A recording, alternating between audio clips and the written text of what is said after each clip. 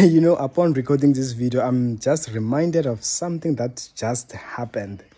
Just yesterday, I was with, I bumped this other lady, a woman, you know.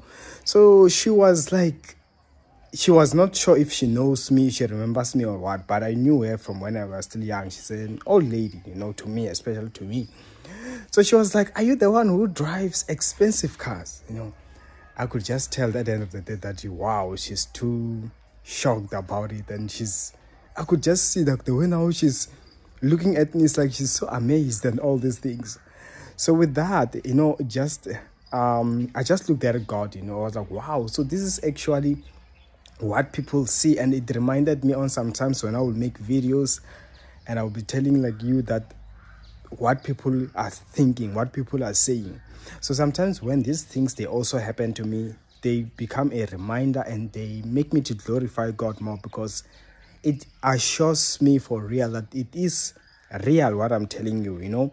And I realized that wow, it means out there you walk. Sometimes you you get used to your lifestyle, but people they be like, wow. That is why some people, some Christians at times they be like, sometimes you don't know the impact that you are having when you walk in as a Christian up until you have backslide and that's when uh, that's when you people will tell you, wow, we used to motivated that you go to church, we wanted to be like you.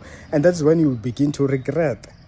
So, but with this being said, this video, I'm bringing it unto you that with everybody else that is watching you you just don't know how much whether it is it comes as a form of crush there are even some people who that they are interested in you romantically but with that i pray let it be something godly if you're wanting for a marriage kingdom marriage may you attract someone may that person who is looking at you let there be nothing that stands in the way when they want to approach you, when they want to get closer to me. God bring you two together.